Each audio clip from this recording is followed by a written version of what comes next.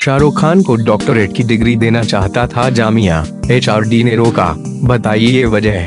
Hindi film जगत में बादशाह के नाम से मशहूर बॉलीवुड एक्टर शाहरुख खान को जामिया मिलिया इस्लामिया जामिया मिलिया इस्लामिया यूनिवर्सिटी डॉक्टरेट की मानद उपाधि से सम्मानित नहीं कर पाएगी। दरअसल, मानव संसाधन विकास मंत्रालय ministry of human resource development ने यूनिवर्सिटी के शाहरुख खान को डॉक्टरेट की डिग्री देने के अनुरोध को खारिज कर दिया है। साथ ही इसकी वजह भी बताई है।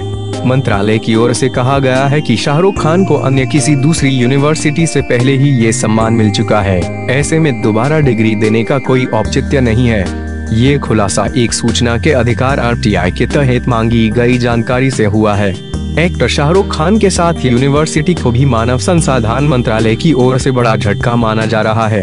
बता दें कि दिल्ली से स्कूल कॉलेज की शिक्षा ग्रहण करने वाले शाहरुख खान जामिया मिलिया इस्लामिया में मास कम्युनिकेशन रिसर्च सेंटर के छात्र रहे हैं। यह अलग बात है कि यूनिवर्सिटी के सख्त नियमों के चलते हुए अंतिम वर्ष फाइनल ईयर की परीक्षा में नहीं बैठ पाए थे, क्योंकि उनकी अनुपस्थिति बेहद कम थी।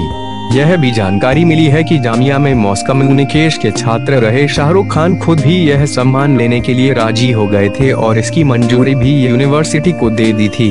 वहीं, पूरी प्रक्रिया के तहत जब इस बारे में यूनिवर्सिटी ने मानव संसाधन विकास एचआरडी मंत्रालय को मंजूरी के लिए खत लिखा तो प्रस्ताव को टुकरा दिया गया।